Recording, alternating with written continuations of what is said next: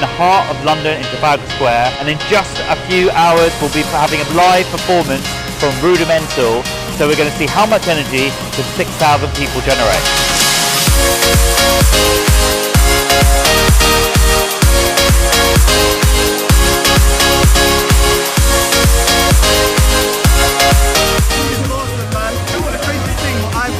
Thing. It's enjoyable. It gives you that bounce. It's energy. It gives you energy. Thank